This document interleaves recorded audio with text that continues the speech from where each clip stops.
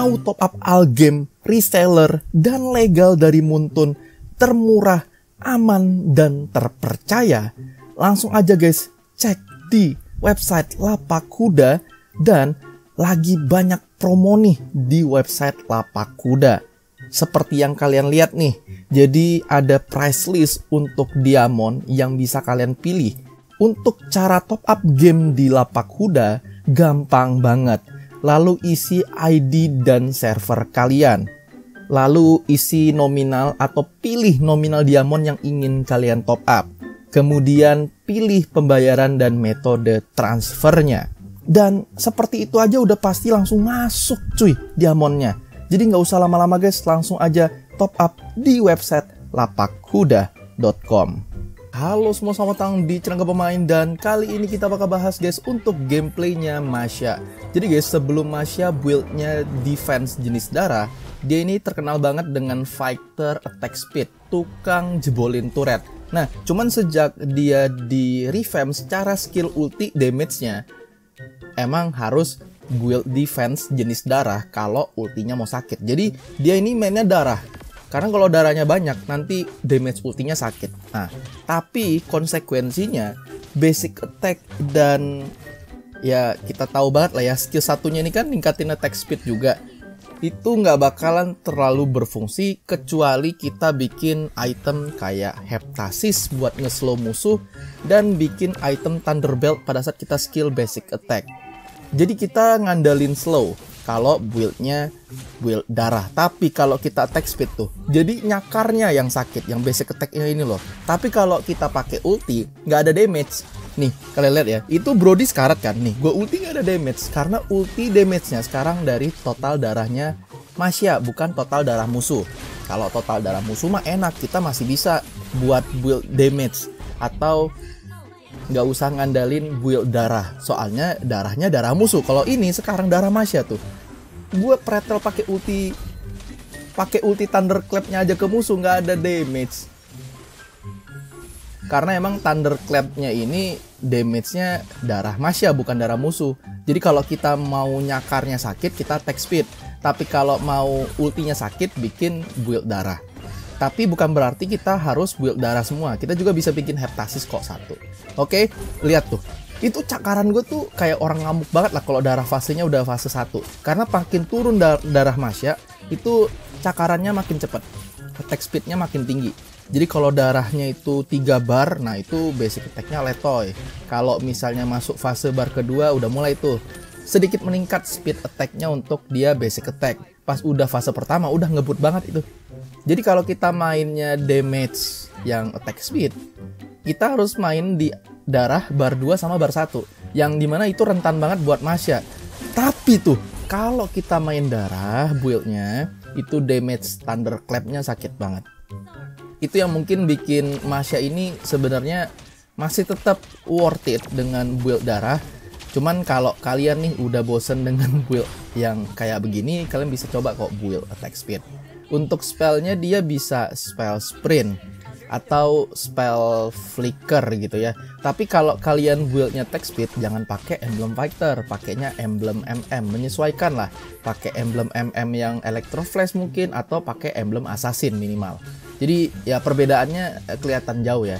Tapi kalau kita mainnya darah, ya intinya kita tebel tapi damage sakit damage ulti doang. Basic attack-nya ya kebantu sama heptasis nanti. Nah, kenapa kok bikinnya heptasis bang bukan item corrosion side?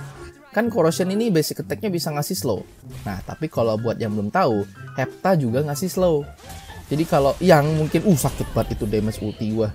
Setengah darah itu silai silai lagi Fanny maksudnya. Itu langsung di backup sedikit sama Zas basic attack ultinya langsung gua cakar sekali lagi udah mati. Jadi heptasis itu item slow ya guys. Jadi jangan dikira itu cuman item penetrasi tapi dia punya stat slow juga. Slow target.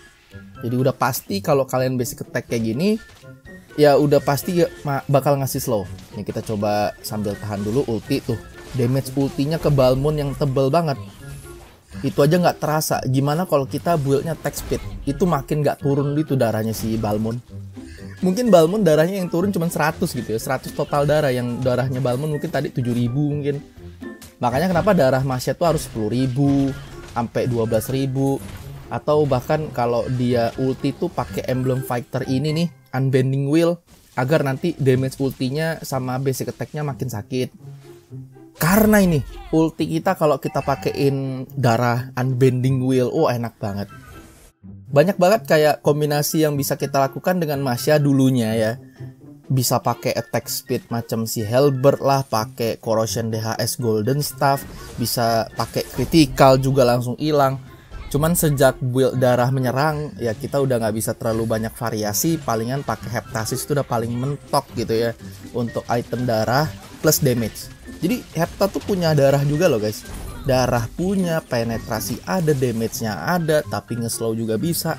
Emang build yang sangat worth it buat Masya. Kalau mau damage. Jadi pas kita ulti, pas kita combo basic attack, pas kita kejar musuh, kita tuh masih ada chance buat berhasil nyakar mereka lagi. Karena kita tuh masalahnya main Masya, pas musuh kabur atau pas musuh udah lihat Masya nih dateng, gak mungkin aja mereka tuh cuma liatin Masyanya doang, pasti kabur. Jadi solusi buat bikin musuh susah kabur ya itu tadi Thunderbolt, aka Thunderbelt nice mati si Fanny dan combo sama Hepta. Tapi kalau mau main combo sama Thunderbelt atau Thunderbolt, gila udah kayak macam lobang port gitu loh. Itu harus komboin sama skill. Jadi kita harus skill 2 basic attack, skill ulti basic attack, atau ya skill satunya dipencet basic attack. Habis skill kalian basic attack agar nge-trigger efek pasif itemnya Thunderbelt. Jadi pas nanti kalian habis skill kayak ulti tuh, kan ulti pasti kita basic attack dong. Nah itu tuh Thunderbelt nyala efek pasifnya nge-slow dan ngasih true damage. Nah, BTW guys buat yang belum tahu, Thunderbelt itu pasifnya kan true damage, tapi pasif true damage-nya itu total darah kalian, bukan total darah musuh. Itu yang pertama. Yang kedua, Endless Battle sama Thunderbelt tuh mirip banget pasifnya. Sama-sama abis skill basic attack bakal true damage. Cuman true damage Endless Battle beda banget. Ini orang kalau dia true damage darahnya besar ya udah pasti Thunderbelt kita tuh ngasih true damage ke masnya juga besar. Uh, triple kill nice. Dan endless battle kalau mau true damage-nya besar harus physical damage yang besar. Jadi perbedaannya signifikan banget ya. Yang satu kalau mau gede true damage-nya harus banyak damage. Uh, setengah darah dong itu Lesti. Uh, gila tuh. Cloud gua ampe nyemplung. Tapi gue tahan badan, gue tahan badan telat pulang doang ada skill 2 guni. Eh nggak kena itu pak flame shootnya. Makanya Thunderbell kalau dibilang cocoknya di hero apa? Ya hero main defense kayak gini nih. Tinggal majuin dikit pakai basic attack tuh udah nggak jalan. Mana kalau kalian udah jadi Thunderbell udah pasti kalian combo mah hepta wah enak banget dan kalau udah penuh tuh bar energi pasifnya kalian langsung pencet skill 4 nya karena skill 4 nya ini bakal ngerecover darah kalian darah Masya kalian. Itu 1 HP bar. Yang kita tahu banget Masya ini 3 HP bar. Buset setengah darah Fanny langsung seperempat darahnya pulang langsung dia.